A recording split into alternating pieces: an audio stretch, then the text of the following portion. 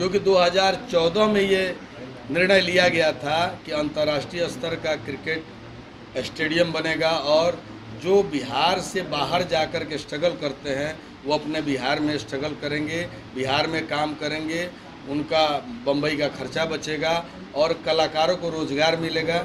उस हिसाब से स्टूडियो का निर्माण होना चाहिए था। हो भी रहा है लेकिन जिस गति से होना चाहिए उस गति से नहीं हो रहा है। देरी कहाँ से हो रही है अब ये सवाल आप नीतीश कुमार जी से पूछें कला संस्कृति मंत्री जी से पूछें तो ज़्यादा अच्छा रहेगा। और मैं वो चाहता था कि स्टेडियम बने तो मोइनुल हक स्टेडियम की जगह बने लेकिन मेरी बात नहीं रही राजगीर चली गई। मैं चाहता था कि वाल्मीकि नगर बने फ़िल्म स्टूडियो नहीं बनी राजगीर चली गई। मेरा उससे प्रॉब्लम नहीं है। मेरा ये प्रॉब्लम है कि 2014 से जो काम शुरू हुआ, वो 2022 तक पूरा नहीं हुआ। ये जो प्रगति है, ये जो निर्माण की गति है, उससे मैं संतुष्ट नहीं हूँ कि सरकार की जो व्यवस्था है, उस व्यवस्था में इतनी गड़बड़ी है कि तमाम एग्जीबिटर जो हैं, जो सिनेमा के मालिक हैं, अपना सिनेमा हॉल तोड़वा करके कोई गोदाम बना लिया, कोई मॉल बना लिया, और इस तरह से जहाँ भोजपुरी एक साथ 300 सेंटरों में रिलीज़ होती थी। अब भोजपुरी का ये हाल है कि 30, 35, 40 सेंटर बहुत है। बीजेपी विधायक बिने बिहारी ने मुख्यमंत्री नीतीश कुमार और बिहार कला संस्कृति मंत्री पर जमकर निशाना साधा है। उन्होंने कहा कि बिहार में जिस तरह से फ़िल्म सिटी निर्माण का मैंने आगाज़ किया उसकी गति काफ़ी धीमी है। कहीं ना कहीं यह बिहार सरकार की विधि व्यवस्था और कला संस्कृति विभाग की नाकामियों को दर्शाता है। पहले सुनिए बीजेपी विधायक विनय बिहारी को उनका क्या कुछ कहना है। लेकिन मैं सच को सच और झूठ को झूठ भी बोलने की हिम्मत रखता और बोलते रहता हूँ। देखिए मुख्यमंत्री जी से नाराज़गी की बात मैं आपके शब्दों में नहीं कह सकता। मैं ये कह रहा हूँ कि जिस हिसाब से उसके निर्माण कार्य चल रहे हैं, उससे मैं संतुष्ट नहीं।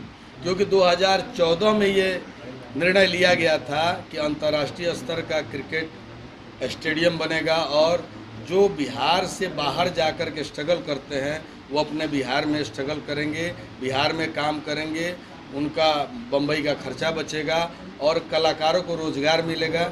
उस हिसाब से स्टूडियो का निर्माण होना चाहिए था हो भी रहा है लेकिन जिस गति से होना चाहिए उस गति से नहीं हो रहा है। देरी कहाँ से हो रही है जी? अब ये सवाल आप नीतीश कुमार जी से पूछें कला संस्कृति मंत्री जी से पूछें तो ज़्यादा अच्छा रहेगा। आरिफ जी एक सवाल करना चाहेंगे फ़िल्म रिलीज़ होगी और किस किस प्लेटफॉर्म पे दर्शकों को देखने मिलेगा फ़िल्म मुझे लगता है कि कम से कम 30 से 35 जगह एक साथ रिलीज़ हो रही और ये 5 अगस्त को रिलीज़ होगी।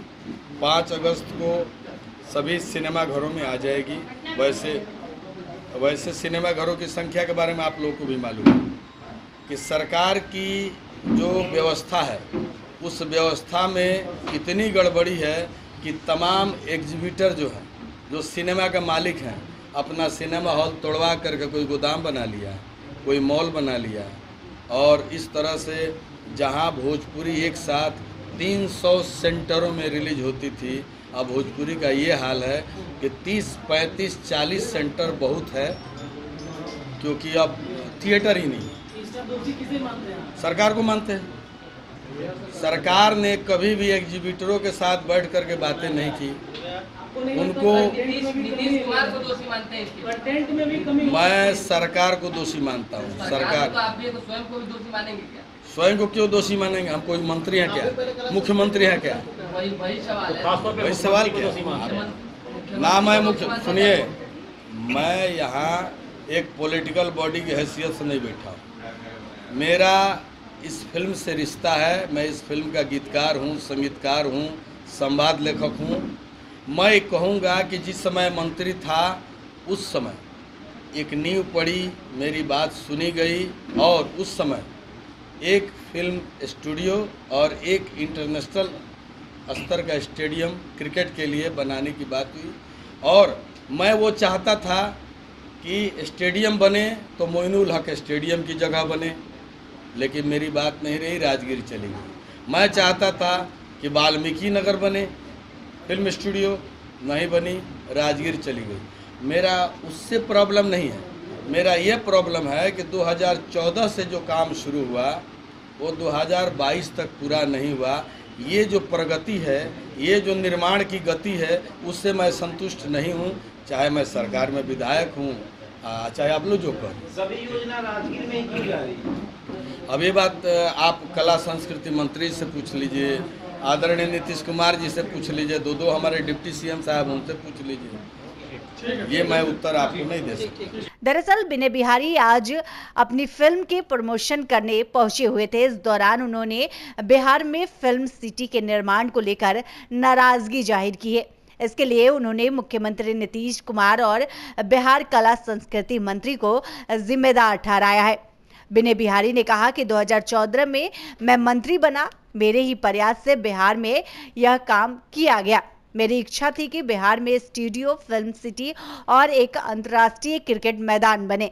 मैं चाहता था कि फ़िल्म इंडस्ट्री का स्टूडियो वाल्मीकि नगर में बने, लेकिन मुख्यमंत्री नीतीश कुमार उसे राजगीर में बनाने का फैसला लिए।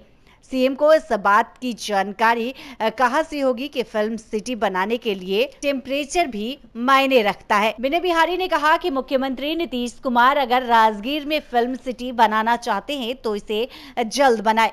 आठ साल से यह काम लटका हुआ है, लेकिन इस पर किसी का ध्यान नहीं जा रहा है। मुख्यमंत्री से नाराज़गी को लेकर विधायक ने कहा कि बात नाराज़गी की नहीं है, लेकिन जिस गति से निर्माण कार्य चल रहा है, मैं उससे संतुष्ट नहीं हूँ। Bureau report, live Bihar. Live Bihar, YouTube पर सब्सक्राइब और फेसबुक पर लाइक ज़रूर करें।